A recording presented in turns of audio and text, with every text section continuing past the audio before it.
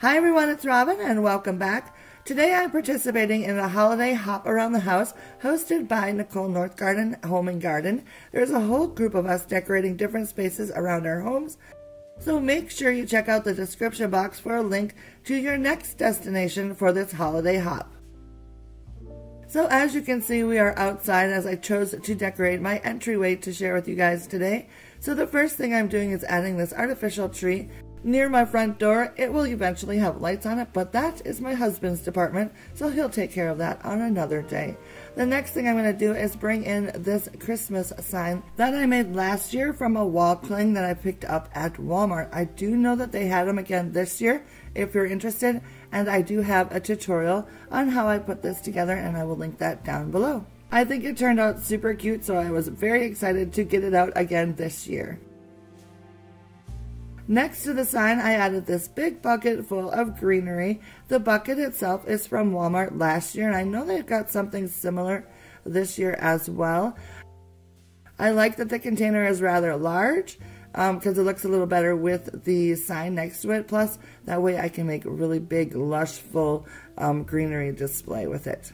To make my greenery display, I clipped a few branches off my pine trees in the backyard, and then I also clipped off some dogwood branches, and then finally I added some cedar sprigs, which I got from a garland that I picked up at Costco, and I just kind of take it apart and use it all over the house and outside as well.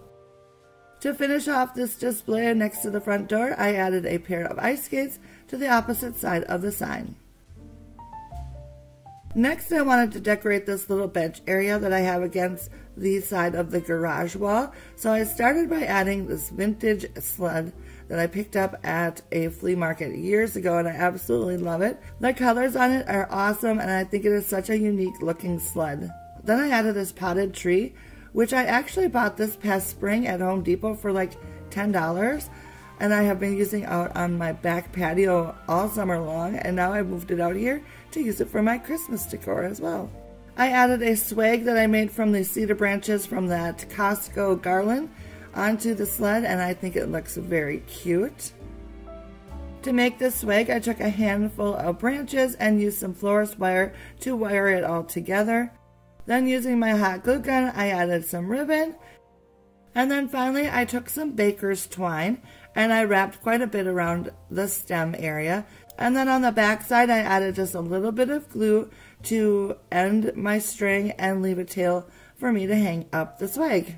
And I think it turned out really cute. To the bench area itself, I have started by adding this rustic star, which I made last year, and I have a tutorial on that, which I'll link down below if you're interested. And then I added a bucket as well. I had some greenery that had berries on it, that I have had forever, it seems like. So I decided to use those to fill up the bucket, and I think that looked really nice. To the base of the bucket, I added a few sprigs of these cedar branches from that Costco garland I talked about earlier. And to finish off the bench area, I added this lantern. And I can't forget to use my snowman blow mold, so I added that next to the bench on the opposite side of the sled.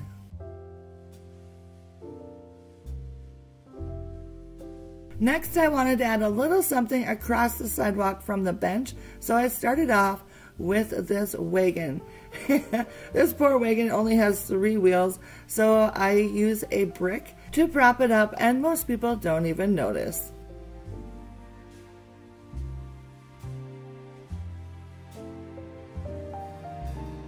To start filling up the wagon, I took some cedar branches from the garland and started placing it on one end of the wagon, making sure that the edges filled over the side.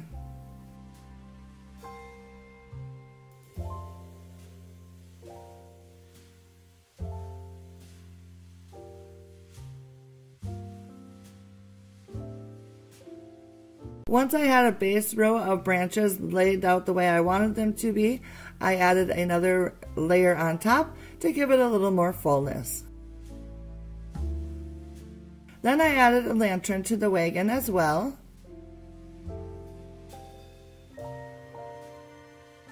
And finally, I added a pair of ice skates to the wagon as well. These were sitting by the Santa originally, and I switched them out for a larger pair so I could put the smaller pair in the wagon. And I think it looks so cute.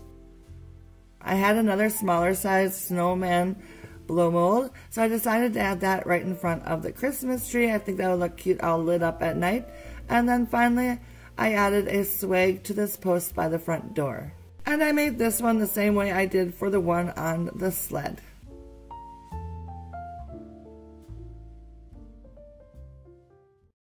And with that done, I feel like this area is complete and I'm really liking how it turned out. Well, I'm all for Christmas. All the happy smiles and the wishes. And I want it all from the lights to the mistletoe.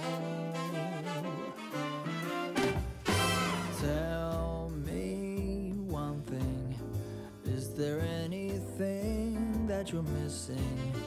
I will keep you warm as soon as you remove that snow. Whatever we do, we will be alright. These holiday wonders will open your mind. May all your wishes tonight come true. The love I live, the dream I knew. This Christmas, wanna be close to you.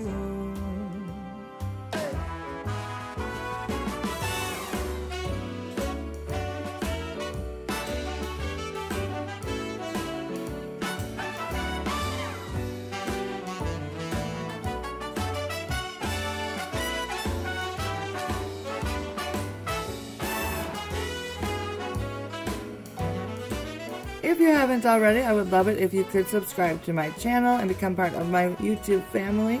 Also, if you haven't followed me over on Instagram yet, I'm over there most days if you'd like to come connect with me over there.